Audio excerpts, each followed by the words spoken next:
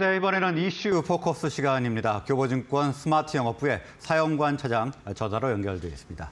아, 사영관 차장 나와 계십니까? 예, 안녕하세요. 네, 안녕하십니까. 자, 오늘 네. 이버와 카카오에 대해서 알아볼 텐데요. 이 네. 네이버와 카카오 가지고 계셨던 주주분들 마음고생 좀 많으셨을 텐데 최근에는 네. 흐름이 괜찮았습니다. 좀 상승을 했는데 이 상승의 배경 어디에 있다고 보면 될까요? 어, 글쎄요. 일단은 지금 여전히 경기 침체에 대한 우려가 계속 지속이 되고 있는 것은 맞는 것 같습니다. 그리고 뭐 개인 소비 지출 상승률이 또 주말 동안에 발표가 됐는데요. 역시나 40년 만에 최대치를 또 경신하는 흐름이 나왔습니다.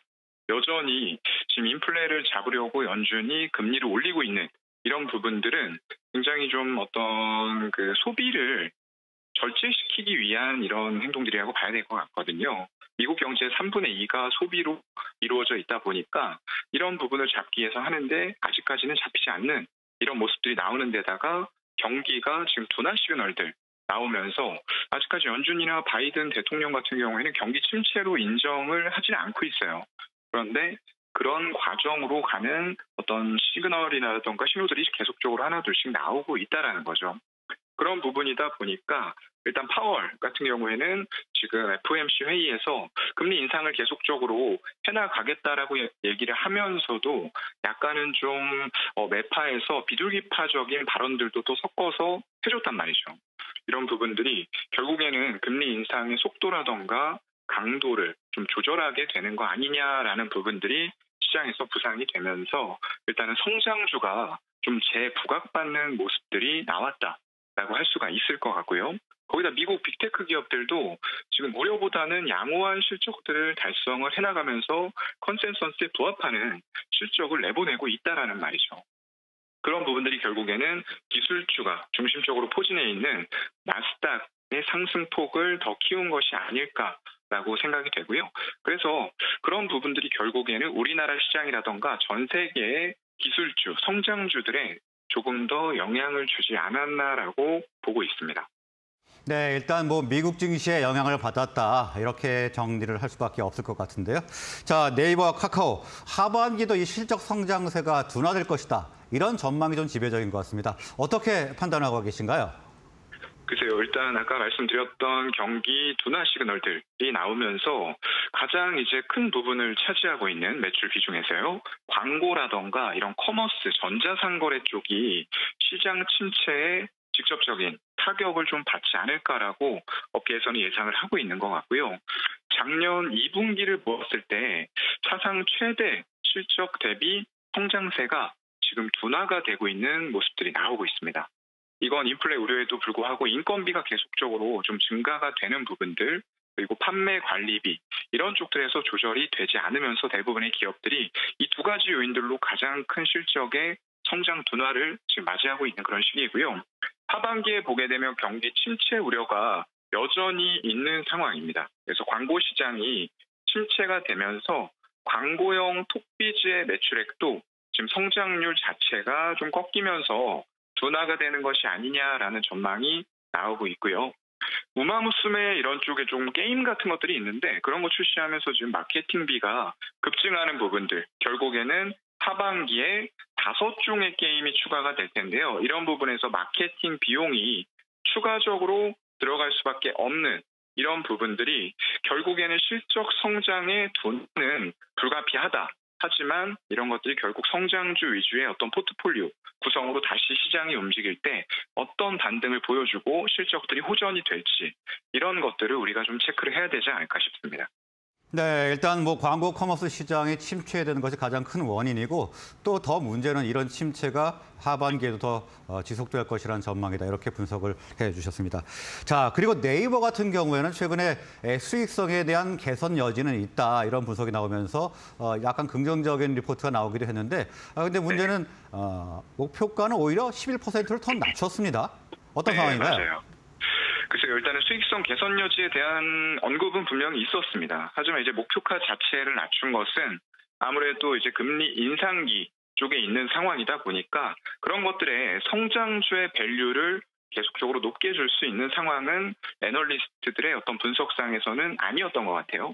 그래서 그런 부분에 있어서 목표가를 하향시키면서도 그나마 네이버에 대해서는 긍정적인 관점을 좀 유지를 한 것 같은데요. 여전히 아까 뭐 말씀드렸던 대로 똑같습니다. 경기 둔화 우려가 있기 때문에 광고 수요 자체가 일단은 감소할 수밖에 없는 상황이고요. 광고가 줄어들고 개인들은 실질적인 구매력이 감소하면서 커머스 부분, 전자 상거래 쪽에 있어서도 동반, 부진이 예상이 되고 있는 그런 상황입니다.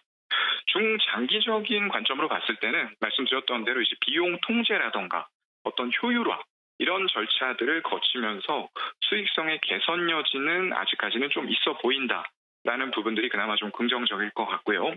또한 네이버는 브랜드 스토어에 판매 수수료를 상향시키려는 움직임들도 또 내부적으로 있는 것 같거든요.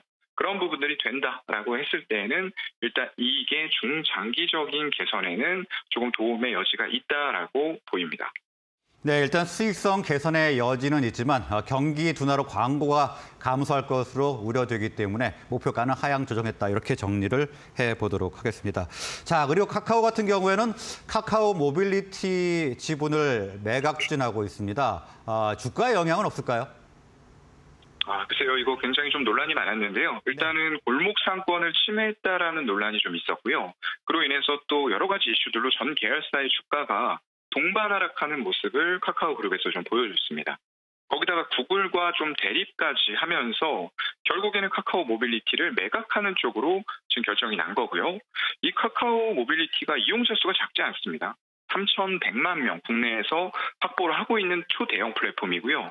그러면서 택시 호출 중개 시장의 무려 80%를 점유하고 있는 업체입니다. 굉장히 좀 알짜배기 업체라고 볼 수가 있을 것 같아요. 왜냐하면 이 플랫폼의 힘은 결국 당장의 수익보다는 이런 플랫폼에 묶여져 있는 사용자들을 바탕으로 창출될 미래의 수익에 대한 평가 부분을 받아야 되는 거거든요.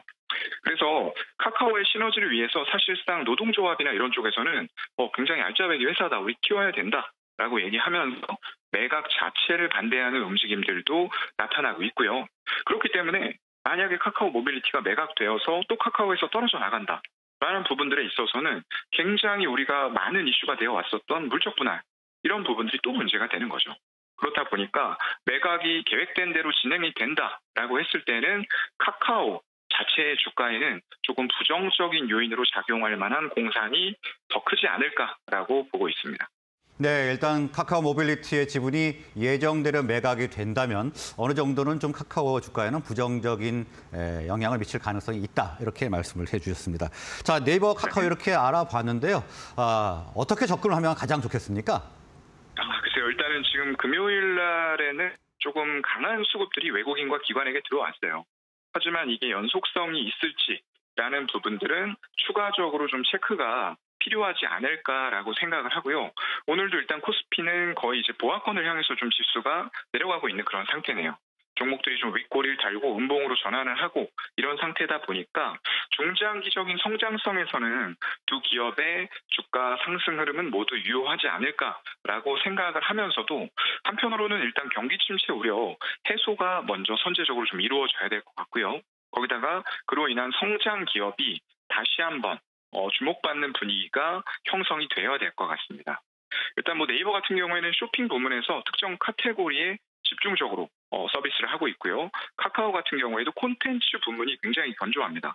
그런데 별도 자회사 상장 이런 부분들의 이슈가 좀 있는 거고요. 웹툰이라던가 케이팝 드라마, 영화 같은 K 콘텐츠 사업은 굉장히 지금도 성과가 양측에서 모두 강하게 나오고 있는 미래 어떤 먹거리로 보고 있어요. 그런데 이런 부분에도 약간 삐걱거림이 좀 생기고 있는 것 같아요. 최근에 이제 고성장을 지속해오던 콘텐츠 부분이 조정을 같은 경우에도 전년 동기 대비해서 56%의 고성장을 이어나가고는 있으나 이게 전 분기 대비로는 약간 플랫해지지 않을까. 약간 평이한 실적들이 나오면서 사용자 지표 자체도 조금 둔화되는 모습들이 나오고 있고요. 거기다 이제 메타버스, 어, 네이버 같은 경우에 특히나 제페토라는 플랫폼을 통해서 굉장히 메타버스 쪽으로도 주목을 받았었는데요. 최근에 해외 쪽에서도 이제 같은 어, 사업을 하고 있는 로블록스의 주가가 굉장히 큰 폭으로 내려갔었죠. 금리 인상기에요. 하지만 그런 부분들이 일단은 바닥을 찍고 올라오고 있는 과정이기 때문에 조금 더 메타버스에 대한 추가적인 체크가 필요할 것 같고요. 일단 웹툰 쪽에서는 카카오가 네이버에 좀 밀리는 모습들이 나오고 있어요. 1년 정도 런칭한 지 됐는데 국내 플랫폼 간 차이가 700만 명으로 격차가 더 벌어지고 있습니다. 그렇다고 하면은 이제 인수해서 리뉴얼한 효과들이 사라지는 거 아닌가라는 의구심을 떨칠 수가 없고요. 거기다 가장 큰 비중을 차지하고 있는 서치 플랫폼 그리고 성숙기에 이미 진입해버린 이커머스 이런 것들에 어, 한번 더 뭔가 레벨업을 보여주면서 투자자들의 이목을 끌어야 되는 그런 시기로 들어온 것 같습니다. 그래서 네, 사영관 차장님. 네, 네, 오늘 시간 관계상 말씀은 여기까지 좀 줄여야 될 것 같습니다. 네. 오늘 말씀 고맙습니다. 네, 고맙습니다.